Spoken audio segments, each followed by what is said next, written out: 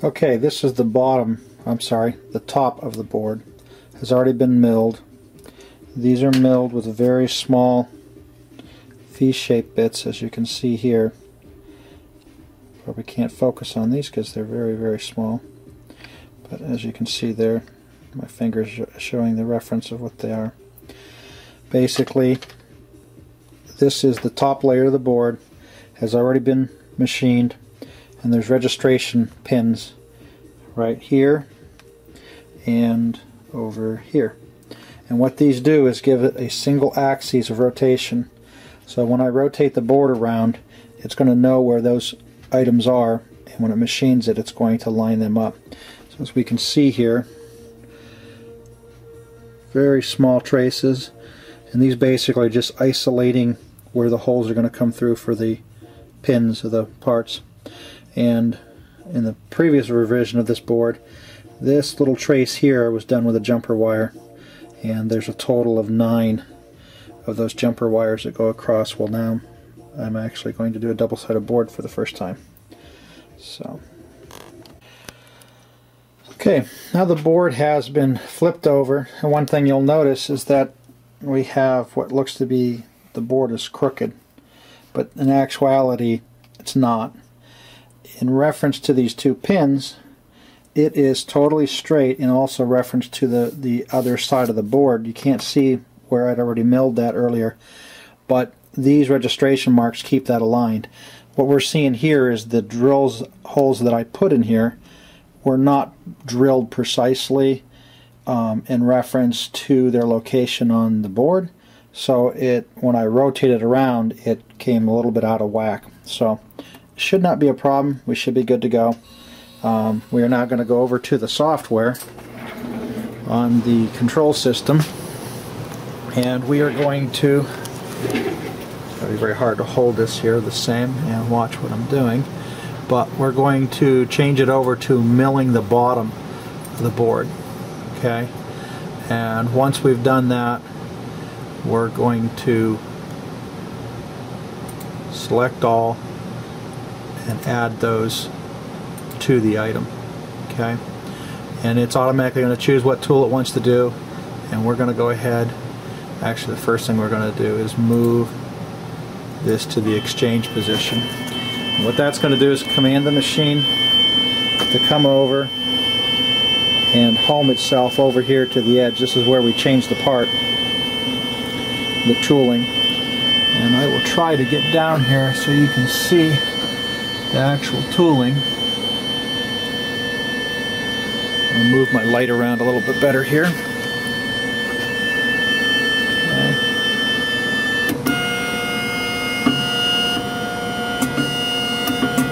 Okay. so that's the exchange position. As you can see, you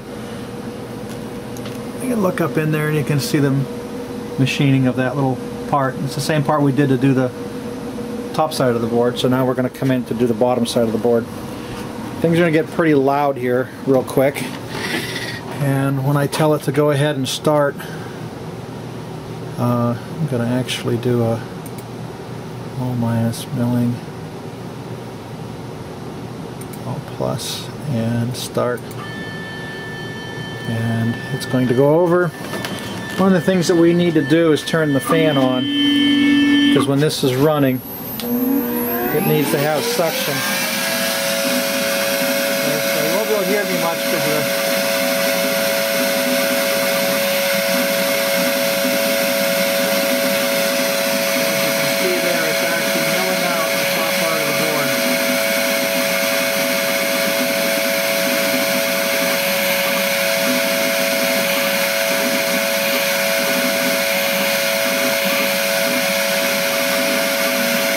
One thing to notice with this is this board has some movement here looks kind of sloppy, but it doesn't really matter because it actually plunges this down into the, into the material and takes up that slot. You can see the circuit actually starting to form there.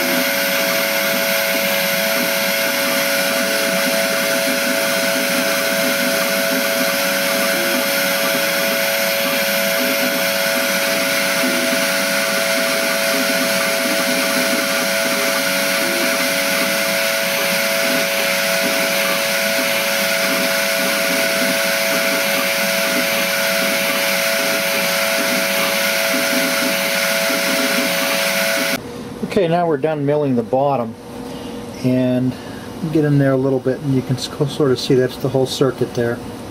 Um, and what we're going to start now is the drilling process. Now this is pretty amazing because we've got I think two maybe three different sized holes. If you look at the software here I've started the drilling phase and it's asked me to put in a spiral drill at 0.5 millimeters. Now if you've never seen one of these drill bits they're pretty amazing.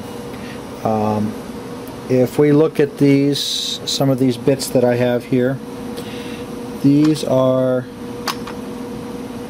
these ones right here are 0.75 millimeters and you can see with my, my finger as a reference there. They're pretty small. 0.65 is a little bit smaller. These are 0.90 they're getting quite a bit bigger the 0.5 millimeter ones are not much thicker than a human hair and if we look here, we can see one. I don't want to take one out of here with one hand. I don't want to drop it. These are probably about five to ten dollars a piece. And if you were to drop one of those, you would definitely break it. Matter of fact, a lot of these bits, even the bigger ones, if you drop them, because they're so hardened, they're very brittle. So we can see in there now, and uh, focus is going to be very difficult, but you can see that I've got the drill bit loaded. Okay. So now we're going to start the process. This is going to happen pretty fast. And I'm going to turn my, um, start the process here. And we can see here that these are going to run at 52,000 RPM. And that's one of the reasons that these drill bits are as resilient as they are is because they're going so fast. go over here, turn on my suction. I want to see how, you can see how fast this is. You can never do these by hand this fast. You can see it just plunge down into the board.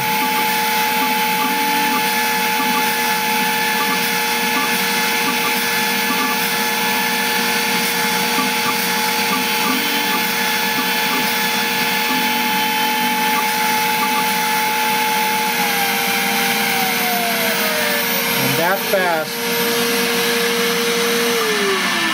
that quickly it drilled all those little one half millimeter holes. And now what it's going to ask me to do is change out to the next size drill bit. In this case it is that 0.9 millimeter. So I will pause and now this is the 0.9 millimeter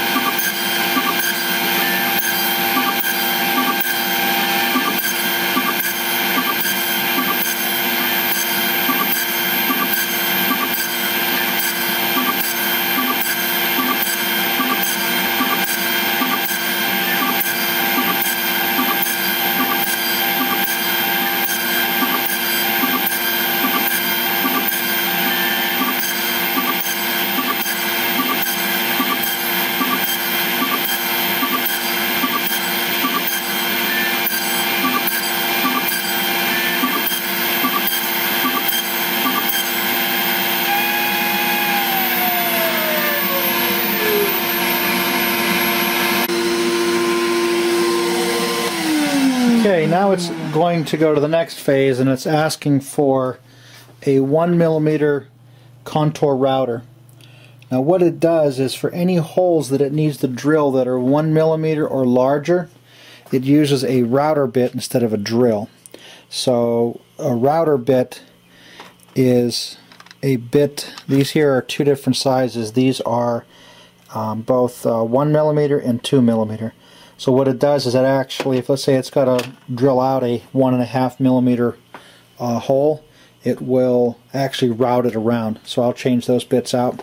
One of the things I did to this machine was when you change the bits out, this machine doesn't actually have a motorized Z-axis. What it has is just a solenoid that um, we're over here in a safe area so you can see this whole assembly just pushes down and you can see that when it was drilling on its own. It doesn't really have a controlled z-axis, it just plunges down. What I found is because that's loose, um, it's hard to change the bits, so I, on my laser cutter, I cut myself a little wedge that I stick in there, and that locks that so I can change the bits easier. Okay, now the one millimeter contour router is in place and we will start the next phase. I apologize for this noise, but I have to do it. So you can see here, when this one cuts, you'll see it drop in, make a small little movement.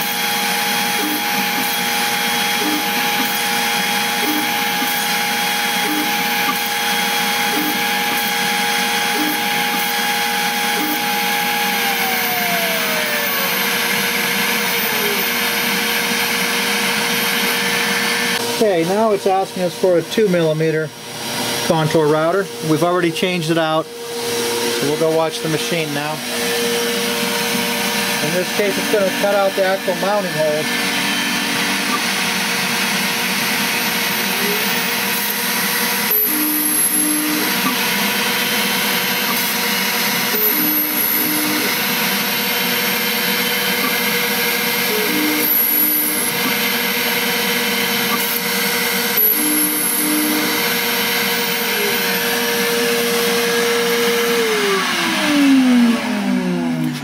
Okay.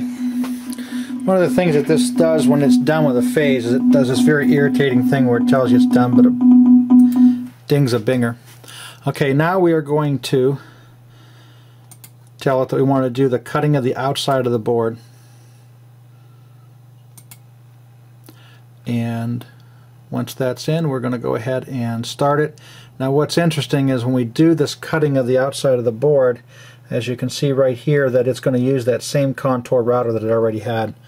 Now it remembers that that's what's in the machine so it's going to start this process right off the bat. You can see there. What it's doing now is actually going to route out the entire board. We're done with the board. We're now going to cut it out of the actual um, circuit board.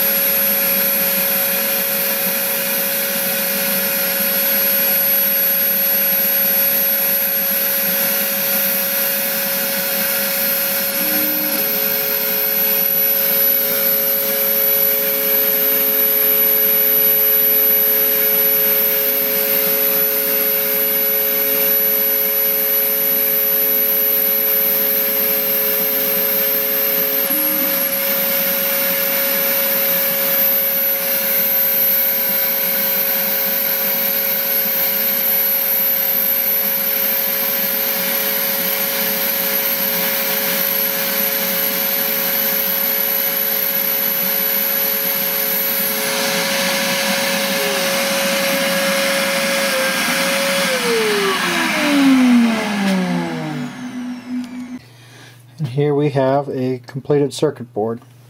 This is the first double-sided board I've tried to do and unfortunately I must have got something slightly wrong. On this side the board looks perfect.